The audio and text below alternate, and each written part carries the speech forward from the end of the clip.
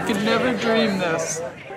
Sharon Clark was the founder of Sharon's Kids, who are an incredible donator of our hamper program that we run every year. We were trying to figure out how many families she's helped in total, and it's almost impossible to, to figure that out, going back 52 years. But it's easily a thousand families that have received hampers through Sharon's Kids.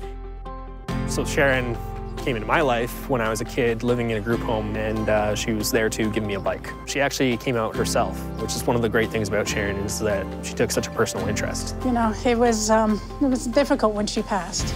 You know, it was uh, she was a wonderful woman. I could only live up to her.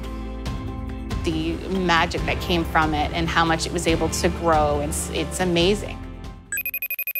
I'm actually uh, really excited to get uh, us going really early on the Holiday Hope program this year, which is why we put together this call. We would like to donate two Corvettes to the Children's Aid Foundation to auction off on behalf of Sharon Clark.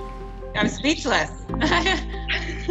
Sharon's uh, organization is very personal to me. I, I, had a chance to meet Sharon um, a few years ago and, and understand what she really put into this charity. Beyond that, I got to know what our Canadian employees had put into this charity since uh, 68 when she started it. I wanted to wanted to do something very special this year in honor of, of Sharon. I think we're making a difference in people's lives by helping to bring financial resources together to enrich the lives of kids and youth in Durham. This is just above and beyond anything we ever could have imagined.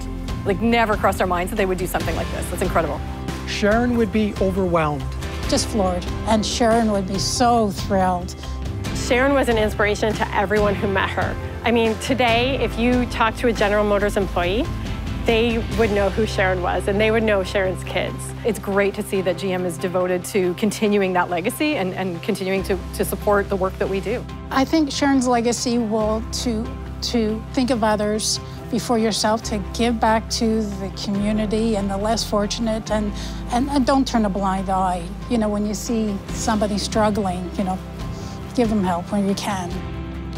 Uh, when you're a Crown Ward, when you're in group homes and foster homes, things like that, it's like you're taken care of. Uh, you're given everything you need. You're given food, you're given clothes, uh, all that stuff. But getting a nice bike or, you know, those are extras. Those are things you don't necessarily get.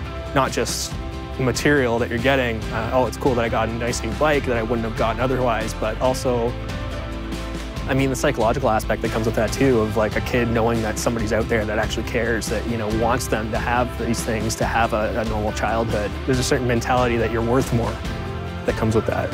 Just being able to continue this um, program on behalf of Sharon um, helps not only continue her memory, but it is something that our community needs and it, has to be carried on. There are people in need out there, and if you can give, then you should give.